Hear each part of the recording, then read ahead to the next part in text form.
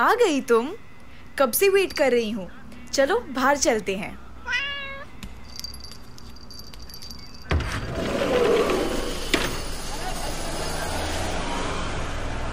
इतनी busy life में भी इनके पास लड़ने का वक्त है। हाँ चलो अंदर ही चलते हैं। कम से कम वहाँ थोड़ी शांति तो होगी। चलो चलो।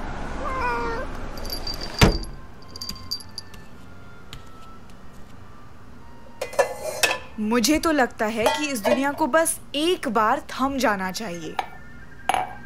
लाइफ इज़ अ रेस ये बात किसने की थी? भाग के भी कहाँ तक पहुंचोगे और कितना भागोगे? ज़िंदगी को दौड़ बना के रखा है। ज़िंदगी जीनी होती है, भागनी नहीं होती। और तुम? तुम भी पूरा दिन या तो सोती रहती हो या तो घूमती रहती हो। बाहर जाके क्या करती हो तुम? इनकी तरह भागती रहती हो क्या? अब क्या हुआ? ठीक है, अब मैं और कुछ नहीं बोलूँगी। तुम सो जाओ।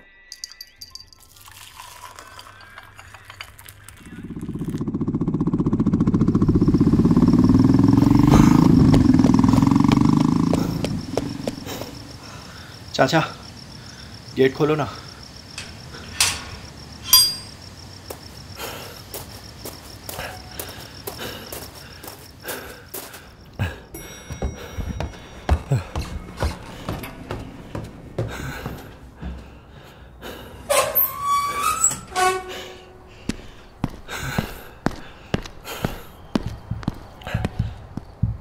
You have to do this. कोई ऑप्शन नहीं है You have to do this. कोई ऑप्शन नहीं है You have to do this. इतना आसान नहीं है। हाँ? मतलब? मतलब इतनी ऊपर से कूदना आसान नहीं है। आ, कूदने से पहले सोच लो। हाँ? और भी तरीके हैं यार मरने के। कूद के मरने में तुम्हें दर्द भी होगा और डर तुम्हें वैसे भी लग रहा है।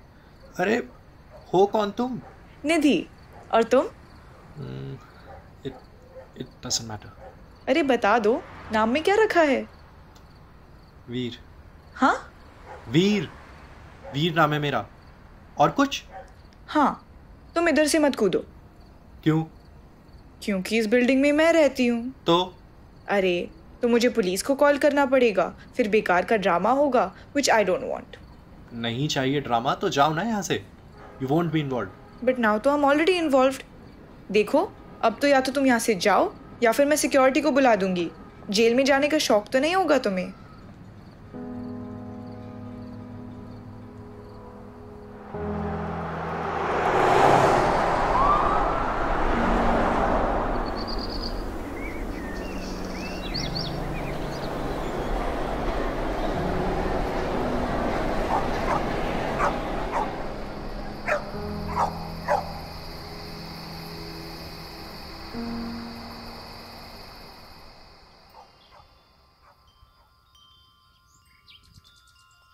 ज़िंदगी प्यार का गीत है इसे हर दिल को गाना पड़ेगा। माँ माँ। अरे वीर तू आ गया? हाँ माँ पर आपने गाना क्यों बंद कर दिया? अच्छा गाना सुनना है तुम्हें। हाँ माँ गाओ ना। साथ में गाते हैं चलो।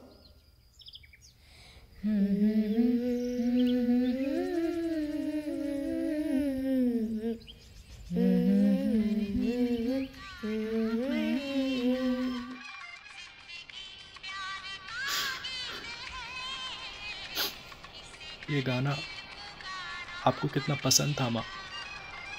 कितनी खुश लगती थी आप। बहुत याद आती है आपकी।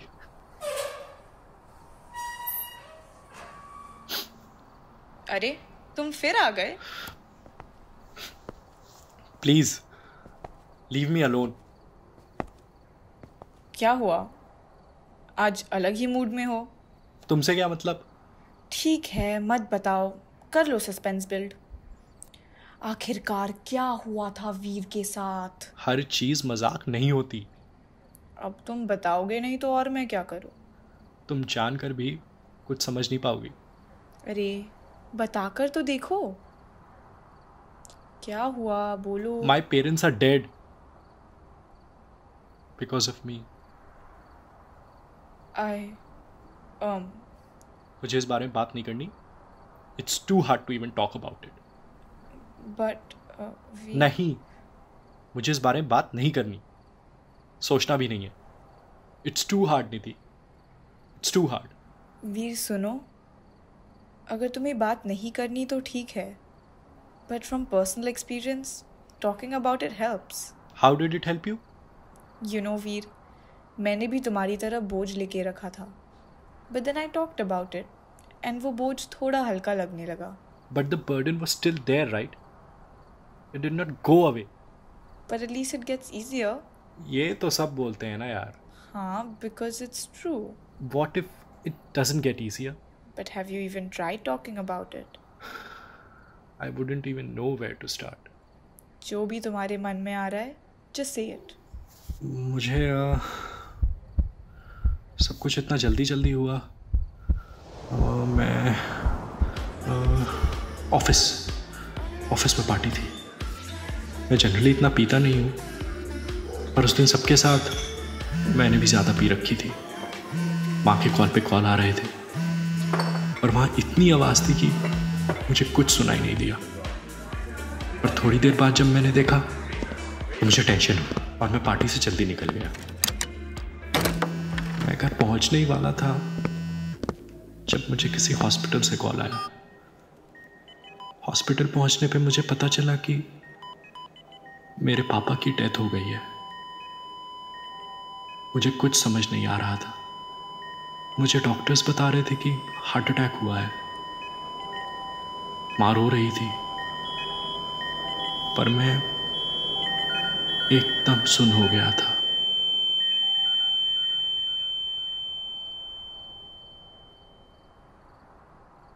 वीर?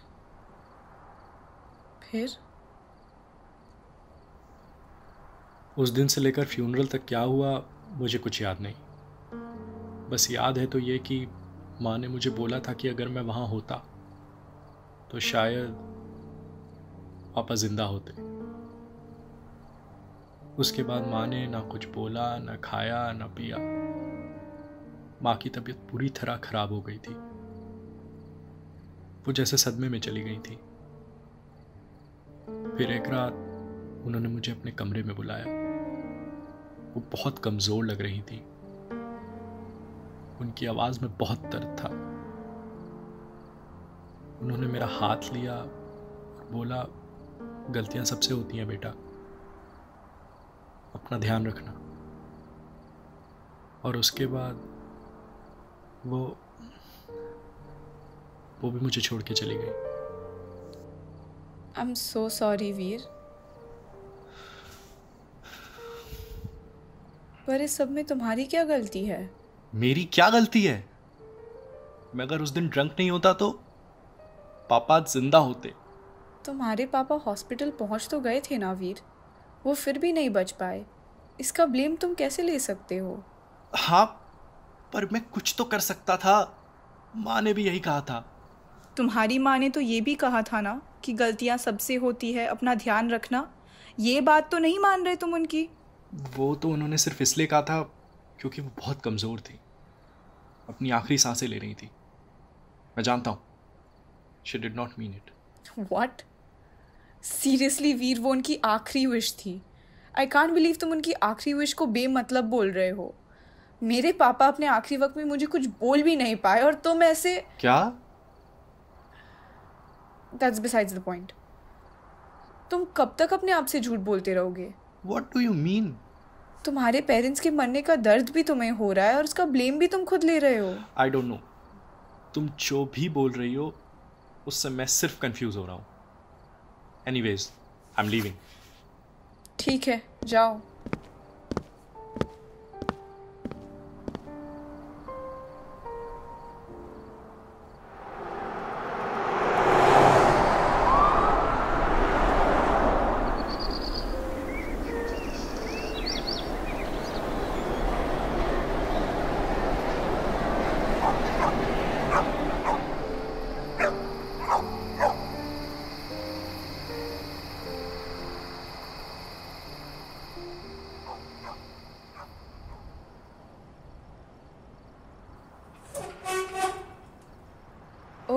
तुम आ गए?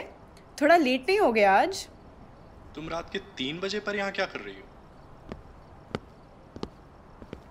ये बताओ तुम क्या करने आए हो? आज कूदने का इरादा है? फिर मज़ाक? और कुछ सोचता भी है तुम्हें? हँसी मज़ाक के अलावा क्या है ज़िंदगी? तुम फिर मज़ाक कर रही हो। अच्छा ठीक है अब मैं मज़ाक नहीं करूँगी। आओ बैठो। और बताओ फिर क्या करने आए हो? तुमने जो मुझे पिछली बार बोला था बस वही बात मेरे दिमाग से नहीं निकल रही। ऐसा क्या बोला मैंने? तुम ना सोचते बहुत ज़्यादा हो। पर निधि आज तक खुद को ब्लेम करता आया हूँ और तुम्हारी बात भी शायद ठीक है। मुझे कुछ समझ नहीं आ रहा। It is also confusing and frustrating and I don't know what to say और डू वीर देखो सुनो मुझे पता है कि तुम्हारे साथ जो कुछ भी हुआ वो बहुत पेनफुल था। बट मैंने भी लाइफ में टफ टाइम्स देखे हैं and there was a point in my life when I was stuck in a cycle and मैंने डिसाइड किया कि मैं ऐसे नहीं जी सकती और अब मुझे मूव ऑन करना ही होगा। I am so sorry to hear that but if you don't mind me asking ऐसा क्या हुआ था? Um, थोड़ी लंबी कहानी है। सो so, जब मैं ग्यारह साल की थी तब मेरी मॉम की डेथ हो गई। उसके बाद मेरे डैड ने ही मेरा ख्याल रखा। But when I was sixteen मैंने उनकी हॉस्पिटल रिपोर्ट्स देखी। और मुझे पता चला कि उनको एक डिज़ीज़ है कॉल्ड हंटिंगटन्स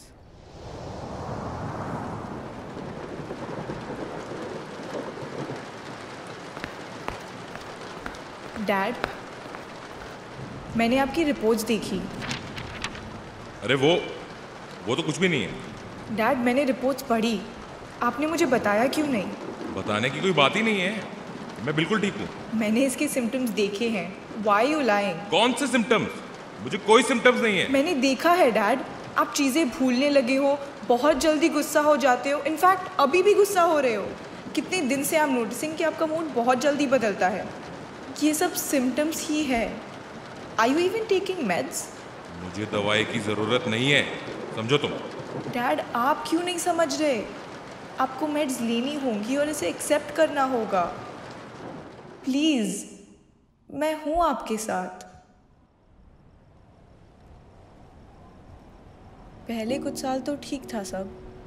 काम चल जाता था।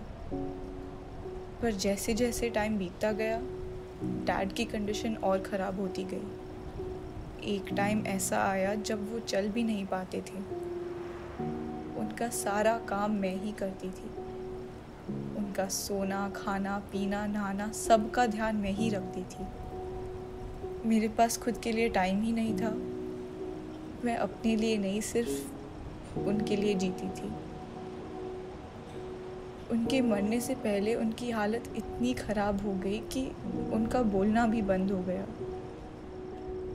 उनके मरते दम तक मैंने उनकी आँखों में कितना कुछ पढ़ने की कोशिश की मैं देख सकती थी कि वो कितना कुछ कहना चाहते थे पर मैं वो कभी नहीं जान पाऊँगी I am so sorry Nidhi I can't even imagine what you went through. No, it's fine.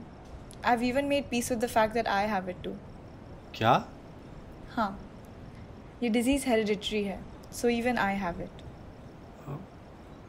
अब तो तुम क्या करोगी? अब क्या? इसकी टेंशन लेने से क्या फ़ायदा? जितना टाइम बचा है I make the most of it आखिरकार मुझे कुछ आइडिया तो है मैं कब मरने वाली हूँ। तो मेरे पास जितना भी टाइम है उसे पूरी तरह जीऊँगी। बट इसके सिम्टम्स तो तुम जानती हो निधि तुम अपना ध्यान कैसे रखोगी? मैं अपने फ्यूचर के बारे में सोचकर अपना प्रेजेंट नहीं बर्बाद करूँगी। जैसे तुम अपने पास के बारे में सोचकर अपना फ्यूचर ही ख़त्म करना चाहते हो। छीने के लिए कोई वजह भी तो होनी चाहिए।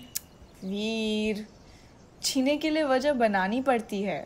पर we're you have to let go of your guilt उस सिचुएशन पर तुम्हारा कोई कंट्रोल नहीं था। तुम्हारी माँ की भी आखिरी विश यही थी कि तुम अपना ख्याल रखो। पर अगर मैं आगे बढ़ता हूँ तो वो बहुत मुश्किल होगा।